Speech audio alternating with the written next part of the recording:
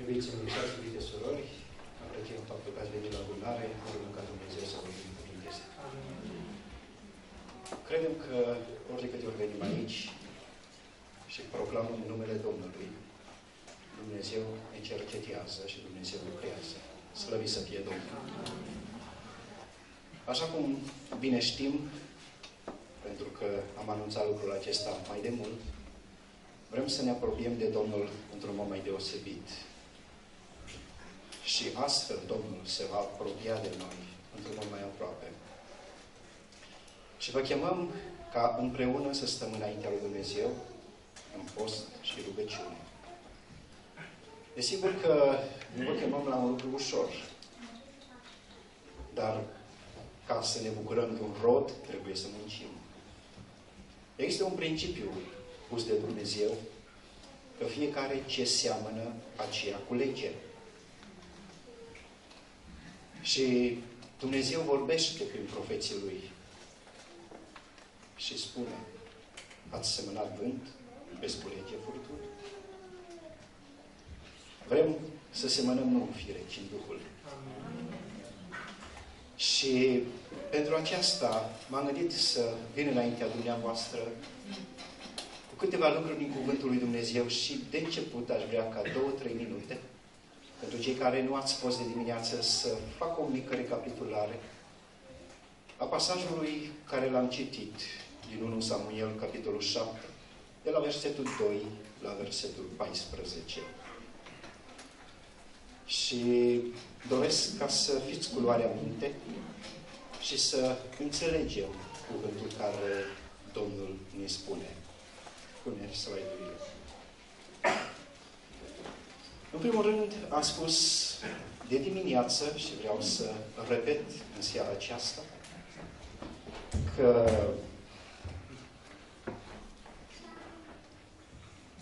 Dumnezeu este acela care ne cheamă și am vorbit aici din Cuvântul lui Dumnezeu că El este acela care produce, care generează o trezire spirituală și în primul rând, ca să se producă lucrul acesta, trebuie să aibă în noi o dorință puternică după Dumnezeu. Primul lucru care face să vină trezirea spirituală, primul element uh, esențial, necesar, obligatoriu. Poporul evreu, spuneam de dimineață, s-a depărtat de Dumnezeu, a ajuns chivotul uh, la filisteni, dar uh, cunoașteți istoria. Vreau doar să punctez succint ce am spus de dimineață. O dorință puternică după Dumnezeu. Și spune versetul 2 că poporului a venit dor de Dumnezeu și toată casa lui Israel a plâns după Domnul. Dacă vrem ca Dumnezeu să ne trezească, trebuie să se trezească în noi dorința asta după Dumnezeu. Să căutăm fața lui Dumnezeu, să ne fie dor de Dumnezeu, să-L iubim pe Dumnezeu, să plângem după Domnul dacă nu mai simțim. În al doilea rând, trebuie ca să fie o, o renunțare la idoli. Obligatoriu, trebuie să renunțăm la idoli. Asta le-a spus Samuel poporului evreu și cel frumos spune aici cuvântul lui Dumnezeu în versetul 3 și versetul 4 că poporul a scos idolii, a renunțat la Astarteie și au slujit numai Domnul. Numai Domnul. Nu cu jumătăți de măsură. Să slujești numai pe Dumnezeu. Și așa cum spuneam de dimineață, să nu vă gândiți la nu știu ce idol de pe pereți. Gândiți-vă la idolii care sunt în viețile dumneavoastră. Și dăm voie să spun că probabil nu sunt puțini. Dacă nu știi roagă de lui Dumnezeu, să te lumineze prin Duhul Sfânt ca să poți să identifici. În al treilea rând, trebuie să înțelegem că obligatoriu trebuie să ne pocăim. Iar pocăința, conform versetelor care le-am citit, cuprinde, în primul rând, rugăciune. Și Samuel spune, mă voi ruga Domnului pentru voi. Și s-a rugat. În al doilea rând, conține post. Și reiese foarte clar în cuvântul Domnului că noi trebuie să postim, sunt anumite lucruri pe care nu le putem birui în viața noastră. Sunt anumite patim, anumite pofte. Și Domnul Hristos spunea despre aceste lucruri, că scăpăm de ele prin post și rugăciune. Și de aceea vă chem, ca mâine, poi mâine, război, să veniți aici în adunare, să ne rugăm împreună, fiecare zi de la ora șase. Și să postim înaintea Domnului. Să ne smerim înaintea lui Dumnezeu și să postim să ne pocăim cu adevărat. Domnul să ne ajute. Și în al treilea rând, pocăința conține mărturisirea păcatelor. Ei au recunoscut înaintea lui Dumnezeu și au spus, am păcătuit împotriva ta. Și un alt lucru care uh, îl vedem într-o trezire spirituală este încercarea.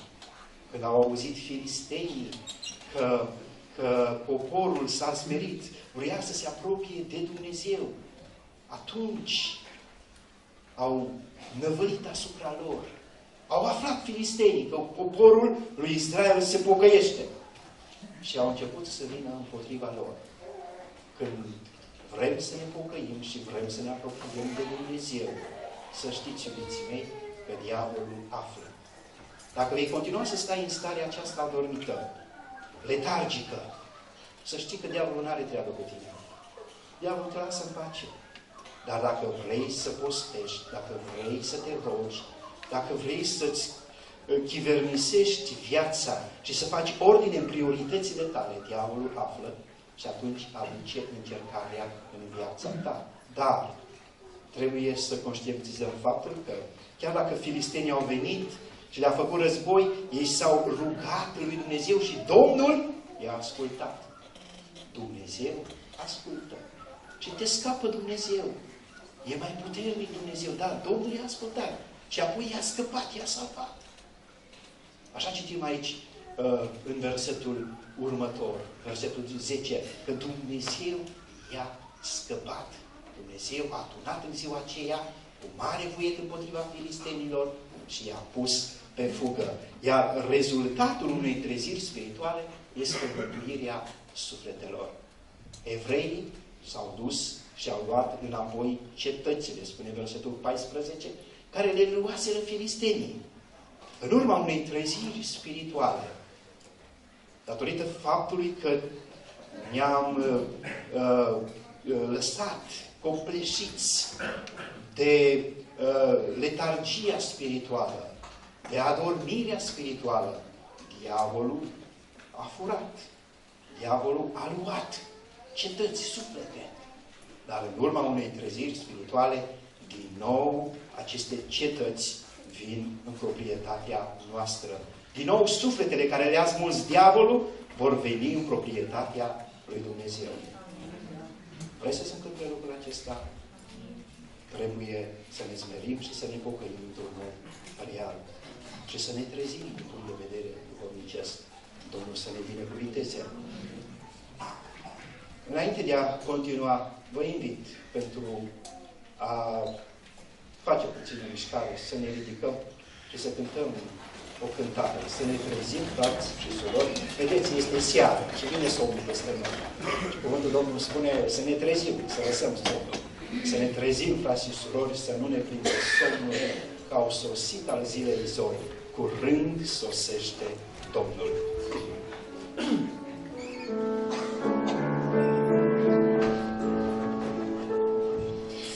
Ne trezim, frați și surori, să nu ne prindă somnul, Căci au sosit ai zilei zori, curând sosește Domnul, curând sosește Domnul.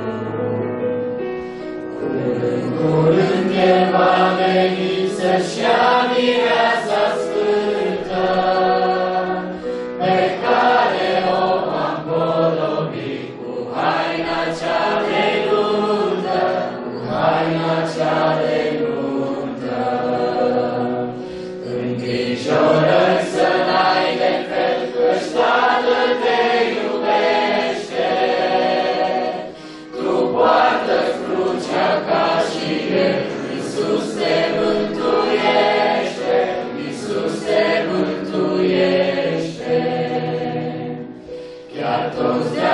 mântuiește. Chiar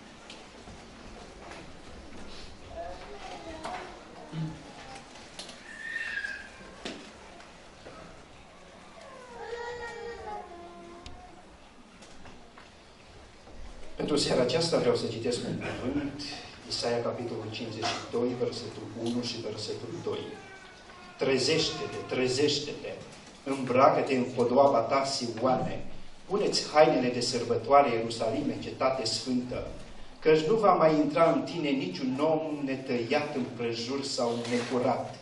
Scutură-ți țărâna de pe tine, scoală-te și șezi în capul oaselor Ierusalime, dezleagă-ți legăturile de la gât fică, roabă a Sionului. În pasajul acesta vedem câteva imperative, sunt șase imperative, imperativele care Dumnezeu le adresează către poporul evreu. Eu le numesc imperativele trezirii și vreau să le folosesc pentru a ne motiva ca să ne punem la dispoziția lui Dumnezeu în procesul acesta care Domnul vrea să facă în biserică printr-o trezire spirituală.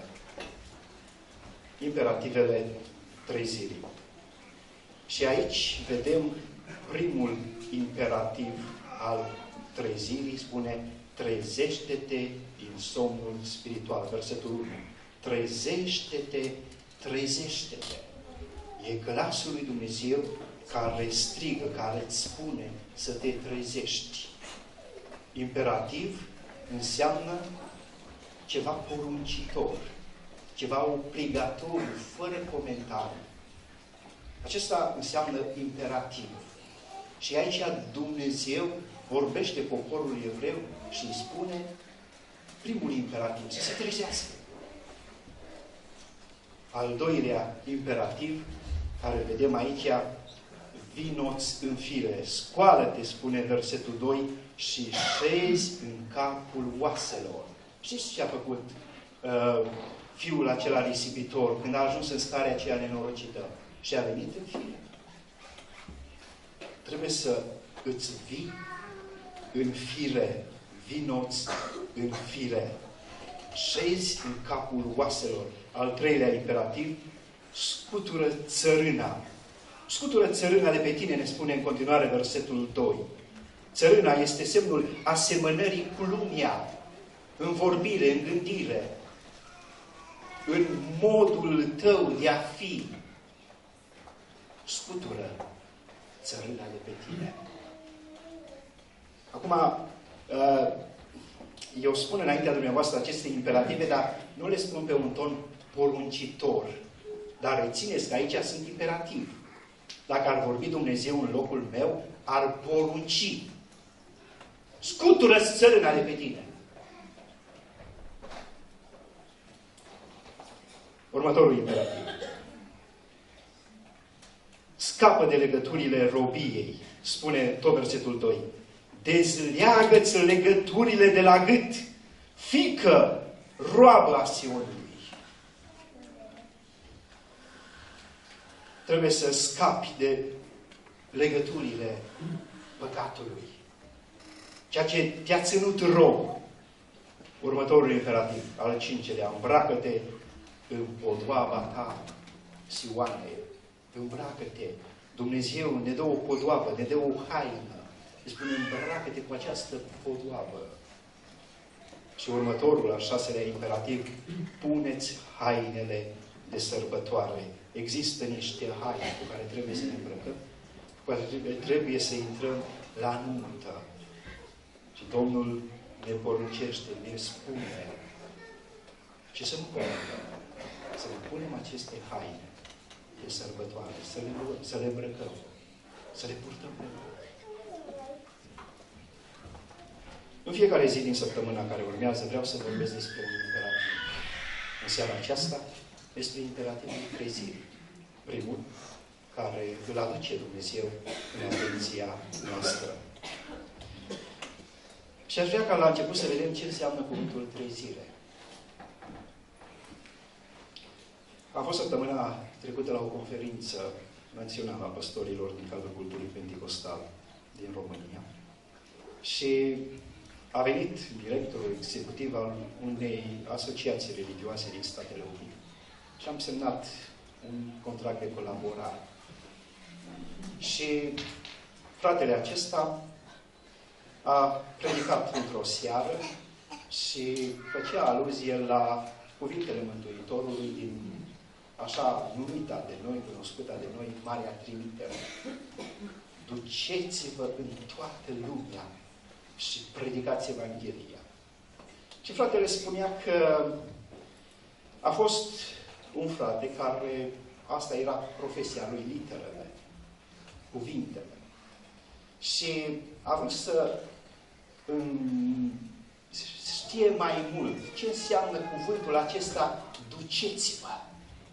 Și a început să caute etimologia cuvântului, să facă cercetări, să ia cuvântul în limbile originale, în limbile antice, l-a studiat în limbile moderne și după ce l-a studiat multă vreme, a ajuns la concluzia că și cuvântul duceți-vă înseamnă duceți-vă. Și așa spun și eu în seara aceasta. Cuvântul trezește-te înseamnă trezește -te. Un lucru pe care îl faci atunci când te scoli. Dacă dormi, și te scoli, asta înseamnă că te trezești.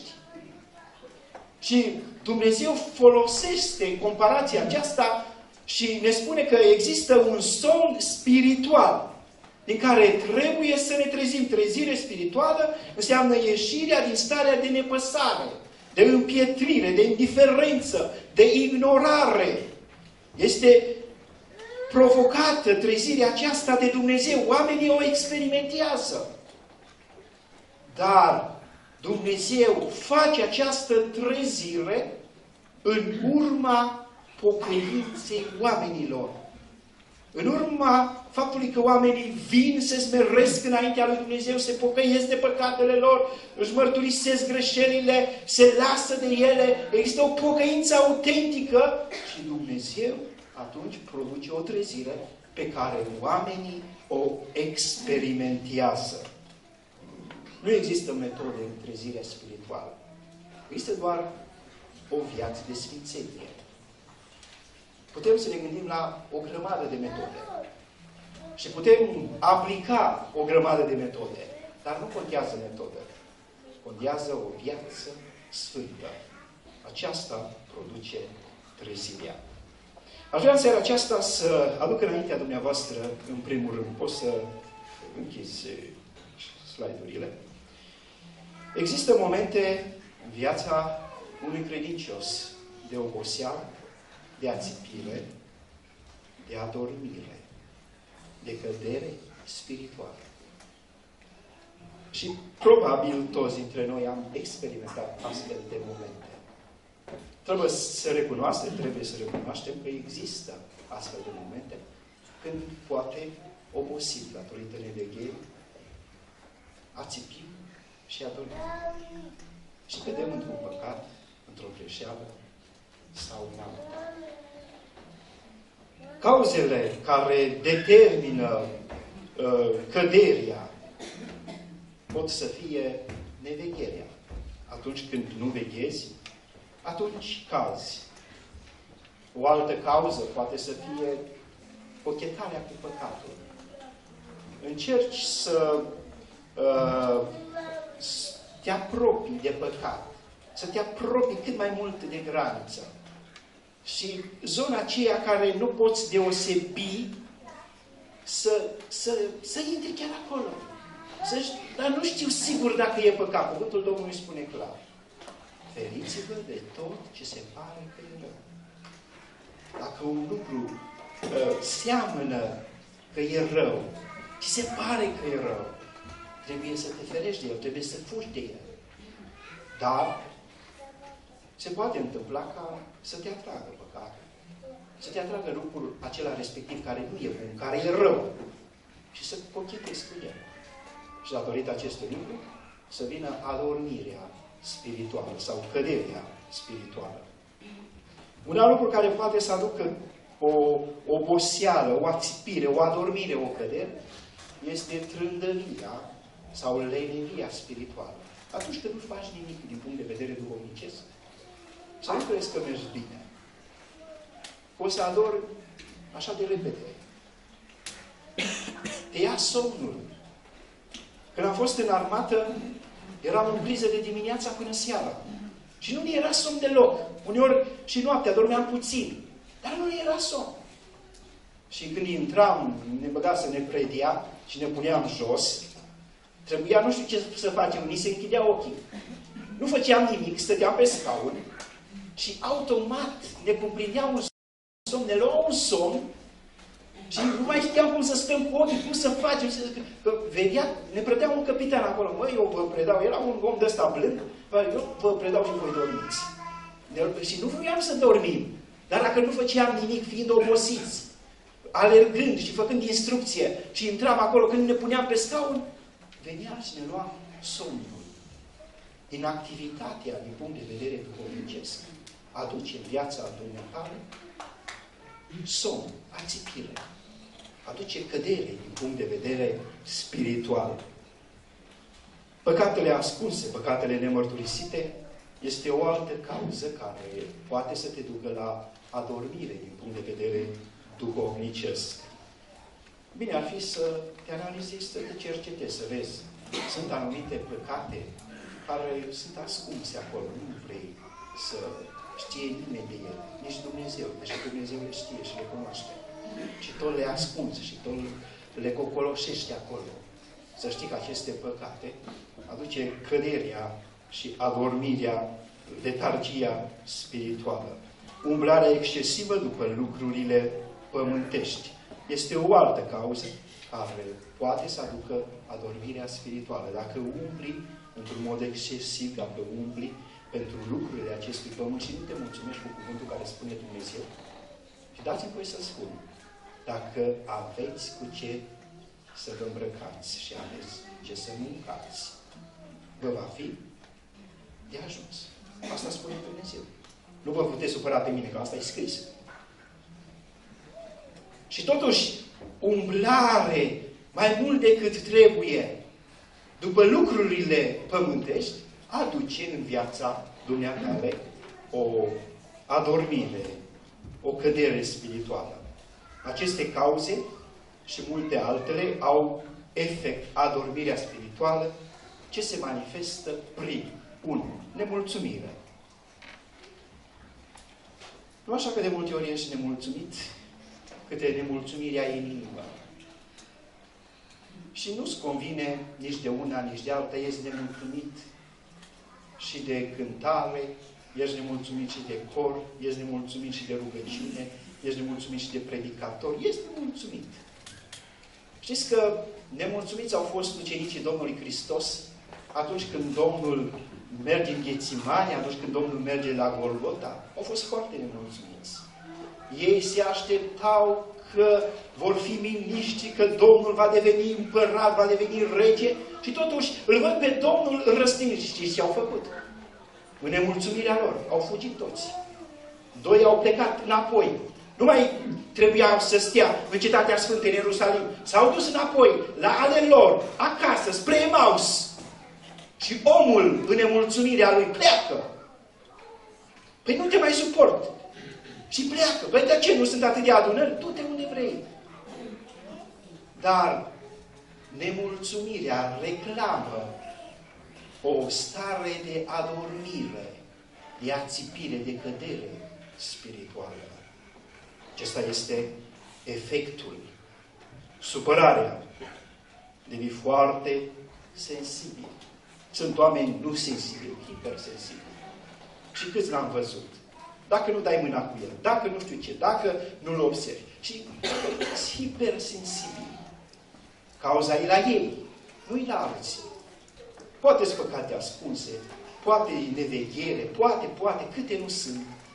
Și care l-au împins spre ațipire, l-au uh, adus într-o stare duhovnicească rea, de cădere spirituală.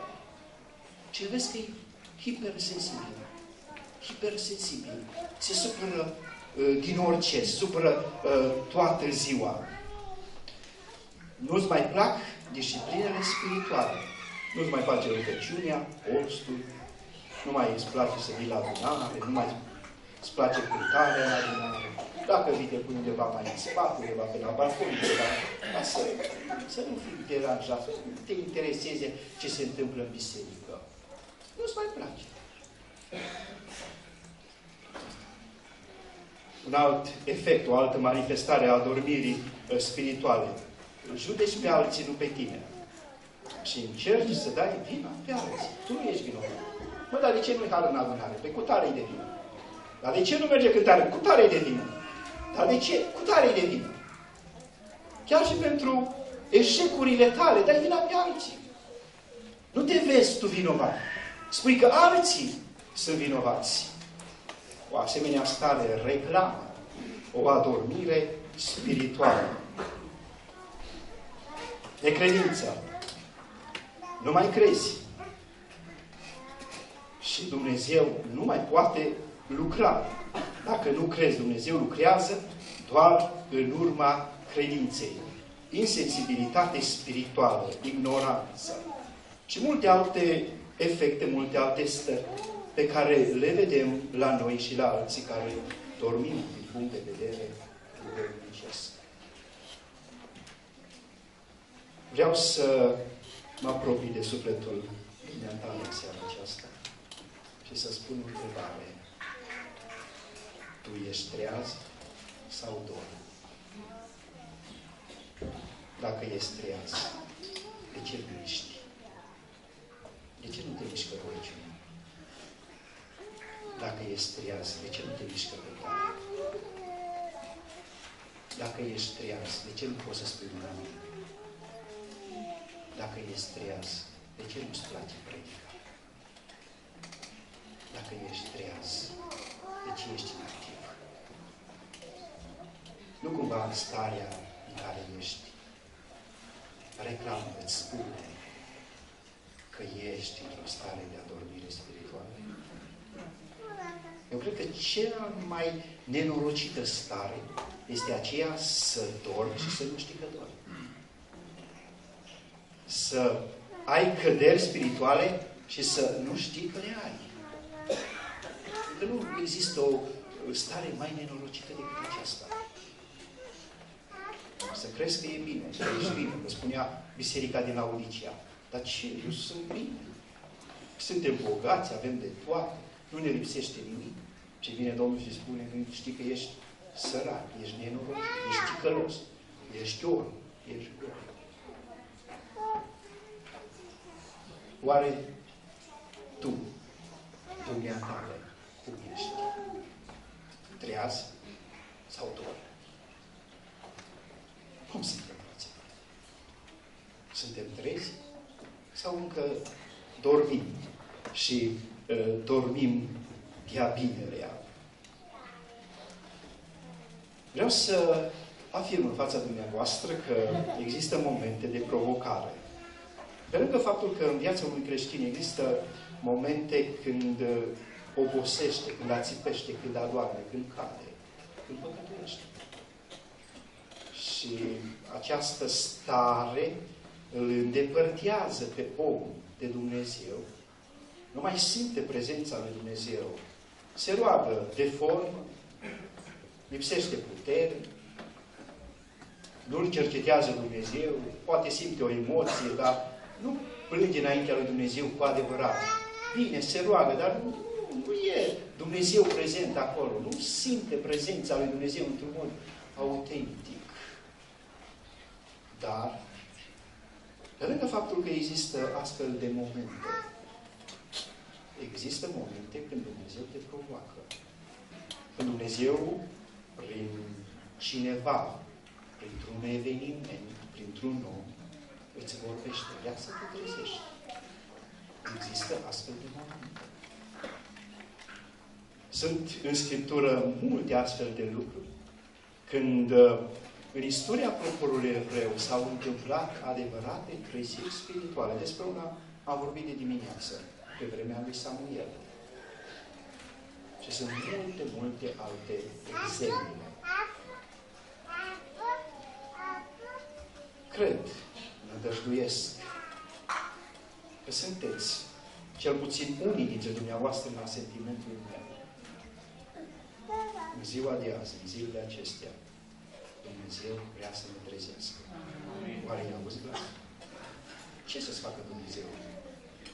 Să vină să te scuture. Uneori e bine și așa.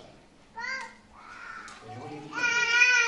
Când cineva e cufundat atât de adânc într-un somn, nu se poate trezi. Sună ceasul, dar el doarme. Și atunci, ca să se trezească, trebuie să vină cineva să-l scuture. Nu știu dacă Dumnezeu ar face lucrul acesta. Poate l-ar face pentru E providența lui Dumnezeu, e lucrarea lui Dumnezeu unde nu putem avea noi acces. Dar știu un lucru, Dumnezeu câteodată aduce evenimente în viața dumneatale, în viețile noastre, în care simțim că ne vorbește El, vrea să ne trezească. E drept că atunci când dorm, ignori parcă n-auzi. Dar cred eu că încă nu dorm chiar așa de adânc, încât chiar așa, prin vis, așa cumva, auzi vocea lui Dumnezeu, care strigă să te trezești. Strigă trezire, trezire. Dumnezeu vrea să te trezești. Și tocmai de aceea îngăduie astfel de evenimente. Desigur că astfel de treziri se fac într-o anumită atmosferă, nu se fac așa, trăind departe de Dumnezeu în păcat. Într-o atmosferă de rugăciune. Și dacă nu te poți ruga, nu rămâne acasă, vină la rugăciune. Păi nu mă pot ruga, nu contează, vină la rugăciune.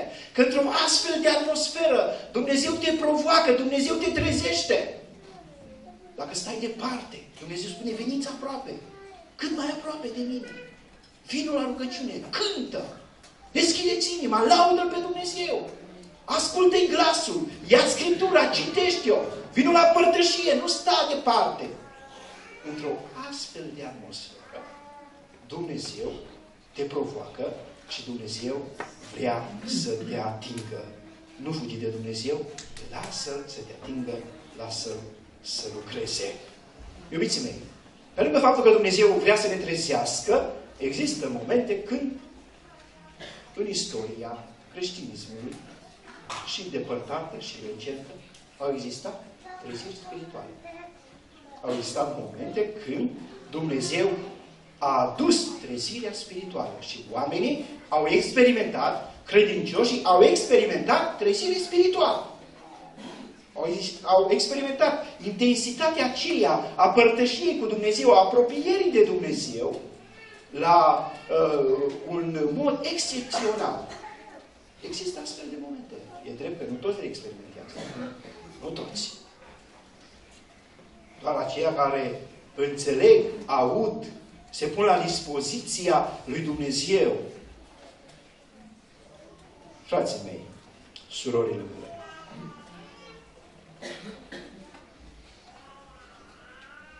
cu o neliniște și o nemulțumire în inima. Vreau să vă pun în față, să vă confrunt cu faptul că mi-a vorbit Dumnezeu. Mi-a vorbit Dumnezeu nu numai prin predică, a trimis Dumnezeu și proroși care ne-au vorbit. Dar am observat că, că nu prea vorba că ignorăm, că nu băgăm în seamă ceea ce Dumnezeu ne vorbește. îți vorbește Dumnezeu și încă ești preocupat de bunăstare, încă ești preocupat de bani, încă ești preocupat să-ți meargă uh, bine lucrurile acestea pământești, îți vorbește Dumnezeu și tu îți vezi de ale tale. Îți vorbește Dumnezeu și tu ignori.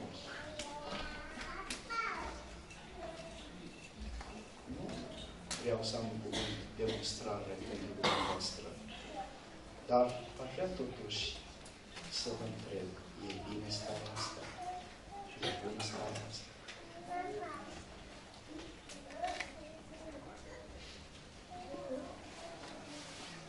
Am vorbit și mai vorbesc. Și poate te întrebi și spui, poate n-ar fi bine să mai vorbești. Nu vezi că nu se întâmplă nimic?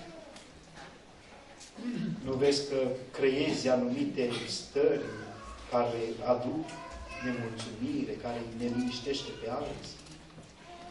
E posibil. Dar dăm voie să te întreb. Tu de ce nu vrei să asculți? Tu de ce nu? Când îți vorbește Dumnezeu, de ce pui la spate cuvântul lui Dumnezeu? De ce nu îți deschizi urechile? De ce nu le De ce îți vezi în continuare de treburile dumneatale? Că sunt aici. Trebuie să scrii. Trei zile. Trei zile.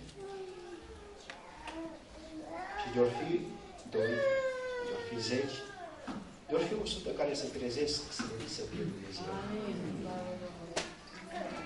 Vreau să uh, vorbesc mai puțin în seara aceasta și să cam mă opresc aici și să vă invit să stați înaintea lui Dumnezeu și să vă analizați și vă, să vă cercetați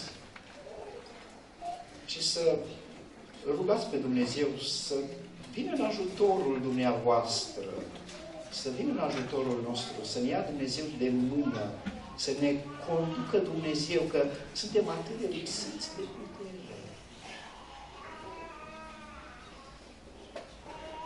Înainte ca Dumnezeu să facă o lucrare, o lucrare de-a Lui, cheamă poporul la pocăință, cheamă poporul la smerenie, la rugăciune.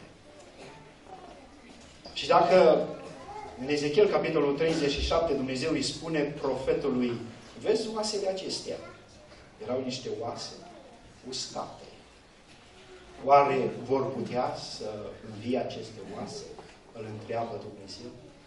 Normal că, din punct de vedere duhovnicesc, n-ai ce să spui decât, Doamne, Tu știi. Oase uscate să învieze, și Dumnezeu îi spune profetului, prorocește. Doamne, dar ce să prorocesc? Îi prorocește ca oasele să se apropie unele de altele. Și la porunca lui Dumnezeu, profetul prorocește. Oase, apropiați-vă unele de altele. Și s-a făcut o mișcare, a venit un fuiet și oasele s-au apropiat unele de altele. Prorocește Fiul omului. Poruncește Dumnezeu. Ca peste aceste oase să crească carne, să uh, fie acoperite cu piele, să fie tot ceea ce trebuie să fie și prorocul prorocește. Și așa se întâmplă. Prorocește Fiul omului. Doamne, dar ce să mai prorocesc? Să vină viață. Și a venit viață. Într-un cimitir, oase uscate. Cred că nu suntem, ca și biserică, un cimitir cu oase uscate. Poate ajungem uneori și oase, dar nu chiar așa ca în Ezechiel, capitolul 37. Dar puterea lui Dumnezeu este aceeași care poate să învieze, poate să aducă viață duhovnicească. Roman, capitolul 13, spune Apostolul Pavel, este ceasul, a venit vremea, a venit ceasul ca în sfârșit să vă treziți din somn. Este timpul, este ceasul, este vremea să te trezești. Dacă sună trâmbița lui Dumnezeu, dacă glasul lui Dumnezeu, prin diferite metode, spune să te trezești, trezește-te, este timpul să te trezești. Apostolul spune în Efeseni, deșteaptă-te tu care dormi. Dacă în analiza și în uh, uh, verificarea și în cercetarea care ți-o faci, vezi că dor, trezește-te. De Cuvântul lui Dumnezeu. Trezește-te tu care dor. Scoală-te din morți și Hristos te va lumina. Haideți să ne ridicăm și să cântăm.